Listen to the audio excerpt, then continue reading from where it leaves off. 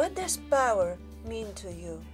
Is it control, freedom to do what you want, influence over others, glamour, money, fame, high social status?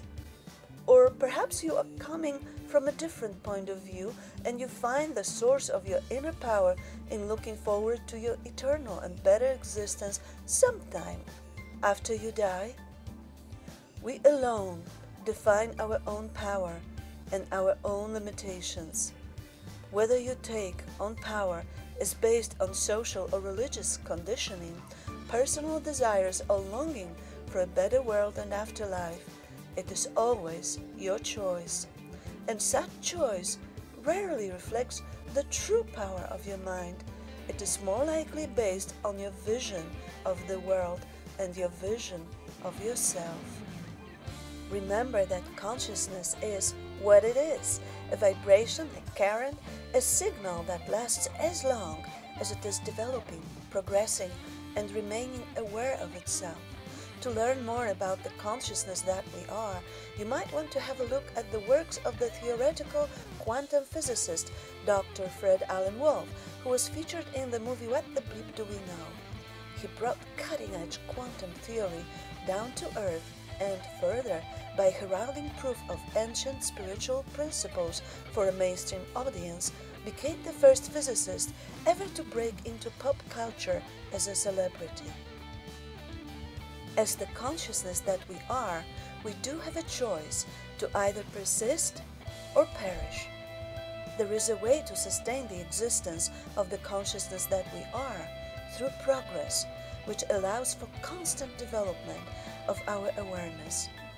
The consciousness that we are is not limited to either the material or spiritual world, and it won't perish as long as it is progressing and remaining aware of itself. What you do with the power of your mind is your choice, whether we believe it or not. What we think, we become. No other power in the world has equally profound effect on our life journey as the power of our own mind. No matter what our circumstances, no matter where we were born, no matter where we are going, we all can learn and use the power of our mind. For some, it will be a longer process. Others have already been doing it without being conscious of it. The power of our mind can be altered, trained, or induced. The power of our mind is simply a tool, a tool helping us to better understand ourselves, the world we live in, to find our purpose, to look into our heart, and then convey its truth.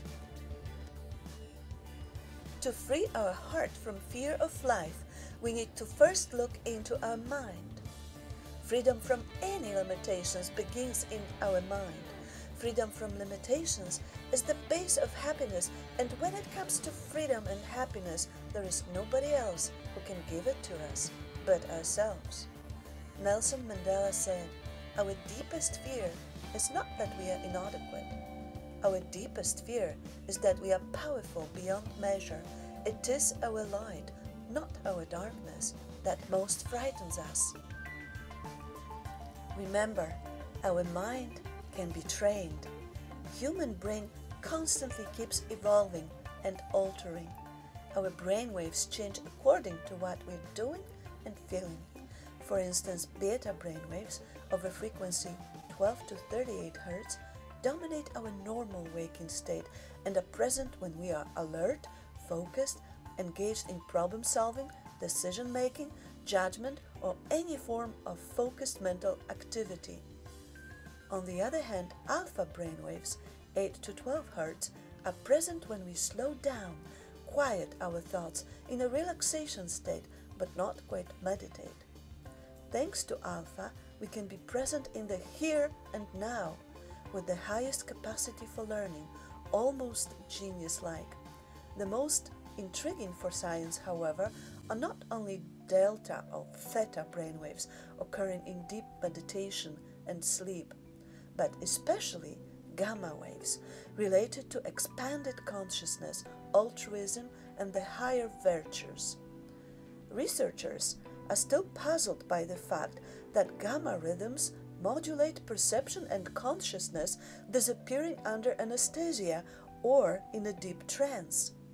Another mystery is how gamma is generated, since its frequency is above neuronal firing. Any process that changes your perception changes your brainwaves. You can learn how to use the brainwaves to improve your intelligence, expand your vision, and alter the reality that you live in. The power of your mind has no limits other than those you have imposed on yourself. Embrace your true power by opening your mind. Let yourself be the magnificent you you were meant to be.